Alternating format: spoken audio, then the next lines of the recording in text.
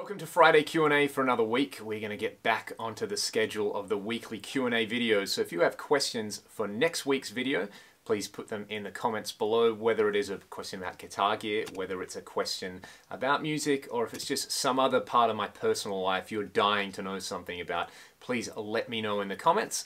Until then, let's get straight into the video. I posted a video about a week ago, maybe two weeks ago now, of a Ragdoll live show at Cherry Bar in Melbourne, and I got a few messages from people asking about the live rig I was using. I can understand because on stage there was a backline full stack, and you can't really see what's at my feet. Furthermore, I'm using the Stompbox Buddies from the Home Musician, which are pedal toppers that are 3D printed. Uh, if you've got big dumb feet like me, I would highly recommend them. You can go to thehomemusician.com and grab those. There's my plug for the week. They are really, really great since putting them on my AX8. Um, like I said, because I'm often you know, chucking my big dumb feet around and I'm jumping around, it does make actually nailing, stepping on that scene change that I need for a solo a whole lot easier. So I've got those on there. So my AX8 doesn't really look like the typical AX8 at the moment, but yeah, it was AX8 direct to front of house. I have posted that preset. It is my AX8 Uberschall preset, I think in December right before we did the Living Colour support, I put that patch together and put it up online. So you can go and get that one as well as the custom cab IR that I made for it. And yeah, it's all really, really simple. One thing that I did do at that gig was I also used Output 2 to record my DI guitar signal. That was because I wanted to take a desk mix of the gig. And in case anything happened, you know, on the mic cable or whatever was going on, uh, if there was some kind of disaster that can happen at live shows, then it would mean if I wanted to use the live recording and that channel was dirty or something, I could go back and reamp it later. Luckily, I didn't have to do that. So what you're hearing on that clip is the AX8 direct to front of house, which I think sounds pretty slamming. Another question that I got messaged quite a bit, I guess because it's not really a video specific question, and I did get asked this quite a few times while I was in the States uh, from some of you guys that I met and some other people who were wondering about video stuff, what video rig I'm using. At the moment, I'm shooting all of this on a Canon EOS M50, which is a mirrorless camera that takes their custom EF size lenses, which are a little bit smaller. They've got a different diameter to the classic Canon lenses. However, you can get a lens converter which will let you use different lenses. At the moment I'm using their 50mm lens, the so-called Nifty 50, which just looks fantastic on video I think, but most of the time I just use the 15 to 45mm kit lens that the camera came with. It's got a nice little zoom on it and it makes a really great grab and go rig for when I want to record stuff while I'm on the road or if I'm in the studio. So that's super cool. Uh, a really big part of it though are the softbox lights that I've got set up. Uh, you know, being able to capture good video is all about having information and video information all has to do with lighting. So honestly, if you've already got like a HD camera, or even if you've got a modern smartphone, like something like the Samsung you know, Galaxy, even S7, S8, S9, or anything from like the iPhone 7 onwards, if you get some good lights, you can probably take some great video. Most of the time, uh, if I'm just recording my voice, I've got a little Rode mini shotgun mic that I use that I find just sounds a little bit better than the stock built-in tiny microphone in the M50, but when you're listening to clips of me playing guitar, you're either hearing the Axe-Fx 3 direct or you're hearing an amplifier that has been mic'd. This is a super cool question. I can't remember who asked it, but I definitely remember the question being asked. It's, what would you recommend as the best amp-based rig for under two grand? So I'm going to take this to mean which amp head less than two grand would I recommend buying? And uh, I'm going to stretch this question out and assume it's in American dollars. Obviously, that would translate to a very different price here in Australia. That's probably something closer to three grand Australian and whatever that is in euros. But my instant reaction to that is it all depends on the style of music that you're looking to play, and that is going to be the big deciding factor, I would say if you're just doing rock shows and you want an amp head that is pretty much going to sound good everywhere for a lot of different styles, go and get a secondhand Marshall DSL 50. It's not absolutely going to blow your face off and be too loud, but it has plenty of power. The green channel is great for everything from cleans. I've recorded a lot of clean stuff with that amplifier all the way through to sort of ACDC style crunch. So if you were doing stuff where you needed, you know, kind of like 70s and 60s rock sounds, that green channel would absolutely nail that classic Marshall vibe. And then the red channel, if you boost it with something like a tube screamer, can do stuff all the way up to metal. So I gigged with that amp for years and years. Uh, if I wasn't using an Axe-Fx, I would still be using that amp because I love the way it sounded live and it was very consistent from room to room and it wasn't fussy about the type of cabinet that you plug it into. If you were strictly a metal guy, I would say just go out and get either an old two-channel rectifier and a tube screamer and boost it. Uh, that was my preferred rig for Ragdoll for a few years, again, up until I got the Axe-Fx. I was actually using a DSL and a Recto uh, in a like dual mono kind of rig uh, for a few gigs before then, and that was a lot of stuff to carry around. Uh, so I was using the Ragdoll for the original stuff, and then anytime I had a cover gig, I'd use the DSL. Back on track, uh, or a 5150 or 6505. Uh, my touring rig in the States was a 6505 combo, and I think they're really, really good value for money. The clean sound isn't the greatest thing you're ever going to hear in your life, but the crunchy sounds are absolutely gorgeous. So that's if you're a rock or a metal player. I would also recommend if you need a smaller solution, go and check out the Cherrytone Son of Yeti. That is one of the best sounding modified Marshall amps I've ever heard in my life, and you can watch my clips and reviews of that thing. Uh, Cherrytone actually would be a great choice for just about any app you want, uh, especially if you're in Australia because they're based in Malaysia, so shipping fees are a lot lower. I understand that would be a bit higher in the States. If you were somebody who basically needs a do-it-all everything amp though, uh, you know, something that can do really tight metal tones, something that can do amazing cleans, I think it would be hard to go past the Mesa Mark V 35 just because, you know, Mark series amps are amazing. They are a lot trickier to dial in and you really need to know what's going on with those. But uh, when I've heard them dialed in, I basically have never heard a better sounding uh, amp for really, really clean stuff to really brutal stuff to everything in between. And the fact you've got a graphic EQ in there, if you didn't want to use pedals, that thing would give you all the tones. If you were doing like blues stuff, or indie stuff or anything where you need a pedal platform, I think my go-to would always just be a Fender Hot Rod Deluxe. They're kind of like the cleaner equivalent of the DSL. I think if you're a rock player and you need an amp with some grit and some attitude, the DSL is the way to go, but if you need a clean pedal platform, uh, the Hot Rod Deluxe just works. I've also done a bunch of gigs. This is going way, way back now, uh, where I used that amp with two tube screamers, and um, you know, one Tube Screamer would give me a little bit more grit and the other one on top was for solos. And that was a really really fun rig. And all of those things come in under $2,000 US so yeah there's a bunch of different options. Uh, like I said if you're a Marshall guy just get an old DSL if you're a Mesa guy get an old Recto or get a Mark V 35 that would come in under budget. Or go and check out the Cherrytone stuff because they can basically build you any amp you like. If you've seen uh, the Plagueside Studios video of his custom Cherrytone, that thing has really kicked up the gas levels for me. That sounded incredible.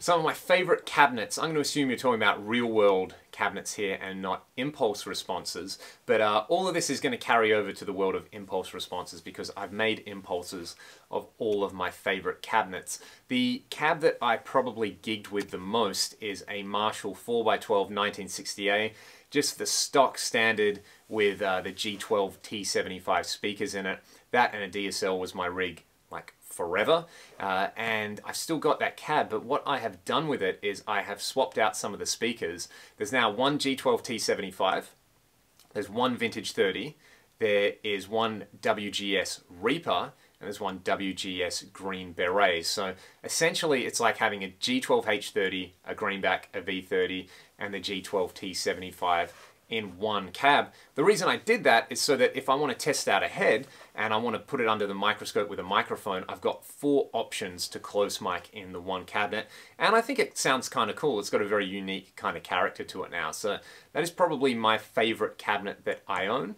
I've also got a Mesa 2x12 cab that I use a lot now uh, when yeah, basically anytime I want to record an amp or if I'm out gigging and I don't want to take a 412, I never want to take a 412. so I take that 212 and that's got a vintage 30 and a G12 T75. That's actually the Mesa compact Recto 212 and yeah, it's a really good sounding cabinet. I've also got a Marshall 412, uh, one of the tall vintage cabs, and that has a really, really cool character. If you've seen uh, my video with the Marshall Vintage Modern, I use that cabinet. And basically anytime I want a classic Marshall tone with greenbacks or I want a cleaner kind of sound, I will use that cab. And uh, for me, they just cover everything that I need. The main cab that I've recorded with though is a Marshall 4x12 1960 BV. So the straight cab with the vintage 30 speakers, that belongs to my buddy Troy, and that is on all the Ragdoll records, and it's going to be on the next Ragdoll album.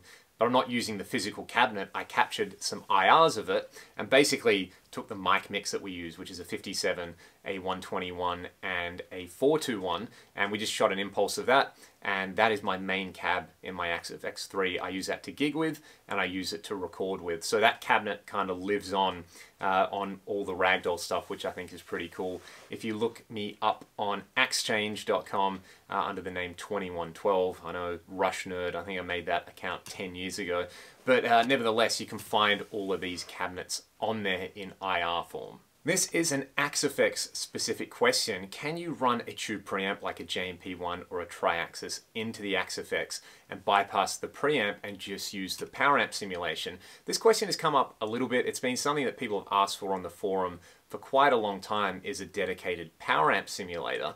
Now there isn't a power amp block in there, but you can create one by basically choosing your favorite amp, say like the Brit 800 model, an EL34 power section, and you go to the power amp section in there, take note of all the parameters in there. Go to the speaker section, take note of all the parameters for like speaker low resonant frequency and the speaker Q and all those kind of things. Basically go through any power amp specific or speaker specific parameter, note it down, and then go to the tube pre block and enter all of those values into the tube pre. And essentially what you can do is create a power amp in there. It's like one of the hidden features of the Axe-Fx 3. I'm going to post a link to a block that I made and a preset that I made. I actually might just upload the preset to AxeChange and link you guys to it uh, of essentially an EL34 based power amp that I think sounds really good. This is something that I need to get around to doing a video on because I think a lot of you guys out there who love racks like me and have a bunch of old rack preamps would find this very, very useful. Right, talking about Silverchair, if you were an Australian growing up in the late 90s, early 2000s when I was, uh, Silverchair and Daniel Johns were absolutely everywhere. The album that was just like bigger than God at the time was Diorama. Uh, unfortunately, I kind of missed all of that. Like, I wasn't really into rock music at the time. And then when I got into rock music, I was into stuff like Deep Purple and Led Zeppelin. I was that weird kid listening to all of my dad's music when I was in high school. But Silverchair were just everywhere. The fact that they released their first album, Frogstomp, when they were like 13 or 14, and the fact that they could even just play in time, let alone write songs that, you know, what is that, like 25 years later now that people are still going on about and people are still playing in cover bands here, I think is pretty amazing. I mean, when you listen to Frogstomp, uh, it's pretty clear they're just, they're on that Pearl Jam, Alice in Chains, Soundgarden kick. That's what was huge at the time. Uh, they obviously love that music, and you know when you're 13, 14, it's very, very easy to wear your influences on your sleeve. But Diorama was the album that when it hit was just absolutely everywhere. I probably remember it more for the song uh, "The Greatest View" because that ba ba da na na na na na na was on like every sporting event. I didn't even know it was them. Uh, I didn't connect the dots, and I would want to say maybe 2011, I really got into diorama. I was driving back uh, from this country gig. It was like an eight hour drive and I was driving with our drummer Cam and he was DJing basically and he put diorama on. He's like, oh man, I haven't listened to this album you know, since I was like 14 or 15. And uh, put it on and I was like, all right, cool, you know, we get to check it out. And I was blown away by it. The production on it, the writing, the string writing on there as well really, really blew me away. So I went through maybe like a six month patch where I probably listened to that album every day. So I was very, very late to the party. I think Diorama's easily the best thing they've ever done. That stacks up against just about anything. And, you know, kudos to a band who can write a song called Tuna in the Brine. The PRS MT15, is it a recto killer? I did get a chance to try one at the Boston Guitar Show. I will go straight out and say it is not a recto killer because a 100 watt dual rectifier is not going to get killed by anything. That amp is like the equivalent of the mountain from Game of Thrones. You know, even when you think that thing's been beaten, uh, it hasn't really. It's it's going to come back and it's going to absolutely crush you. So it's not a recto killer, but for a 15 watt lunchbox head, I was amazed at how tight the low end was and how punchy it sounded. I thought the gain sounds were really, really good and really usable. There was plenty of mid-range in there, not like a kind of honky, annoying mid-range though, like girth. That's what I liked about it. Uh, but the thing that really surprised me were the clean sounds. I loved the clean sounds on it, and uh, I used to own an Orange Dark Terror, and that's a great filthy sounding amp, but it didn't have a dedicated clean channel. Whereas I think if I had my time again, I would uh, go with an MT15 if I needed a small, uh, you know, grab and go lunchbox head. The only other thing, uh, I know I mentioned Cherrytone earlier, that sort of comes close for gain tones is the Son of Yeti. I probably like the Son of Yeti gainy tones a little bit better, but the MT15 clean channel was pretty awesome. And last but certainly not least, my thoughts on the Fractal FM3, as well as some very specific questions about the FM3. I did go to Axfest and I did get to play the FM3. I got some time after hours with it uh, to basically noodle around and make a preset. Uh, but to be honest, I didn't spend a whole lot of time playing it, it was obviously why a lot of people went down to that to check it out. So, uh, you know, it was like one of those things. It's like the popular ride at the amusement park. Everybody wanted to have a go. Uh, and I spent a lot of my time at Axfest just chatting to people who either were on the forum, who came down to hang out and uh, meeting a bunch of you guys from YouTube and talking to people about their rigs and yeah, basically just hanging out and having a good time. And I also did a clinic there, so part of it was prepping for that. So I didn't actually get a whole lot of time with the FM3, but uh, there's been a lot of questions like, for example, can you run two separate signal chains through it? Well, essentially the FM3 is using the same architecture as the Axe-FX 3. So you've got separate input and output blocks. So, so that is definitely possible to say run your acoustic guitar through input and output 2 with a compressor and an EQ, and then run your elect electric guitar with like an amp and a cabinet and reverb and delay. So that's pretty cool. Uh, the other thing that a lot of people have been asking is like, does it have the pitch block? Does it have the drive block? Does it have the long reverbs and things like that? Uh, most of the effects from the Axe-FX 3 are in the FM3. However, there are often fewer instances of them.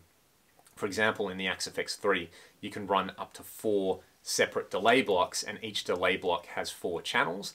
In the FM3, there's two instances of that block, but each block still has four channels, which is pretty awesome. And, you know, a lot of you are thinking about making, you know, big rigs where you can go from clean to mean. You can either use the channels feature in there, or you can use the scene controllers in there. So they're in there, the cloud reverbs are in there, uh, the multi-delay is in there, which is really important for me because I absolutely love that block. The pitch block is in there. Uh, it was pretty funny actually. Uh, they didn't have the chorus block working uh, because they had one unit. There's one FM3 uh, kicking around there and it's still in the beta phase so they're still porting over a lot of the code from the Axe-FX 3 in there. So there are a few blocks which hadn't been added yet, or if they were in there, they weren't working 100%. So I think that's one of the cool things though about something like Axe-FX, you know, like a Axe-FX, Axfest, uh, you know, Fractal's actually going out to their users and letting them test things in the development phase and getting feedback from them, which ultimately is going to make a better product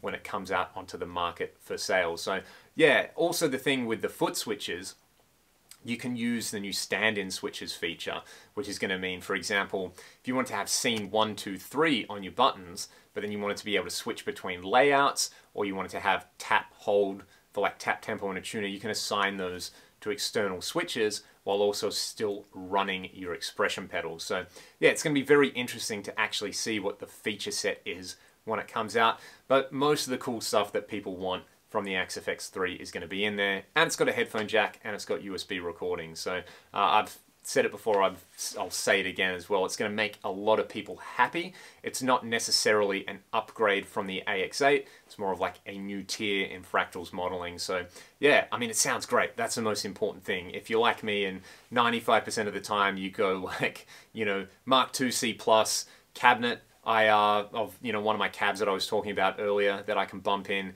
and then multi-delay, maybe a bit of EQ, maybe a multi-band compressor and a wah.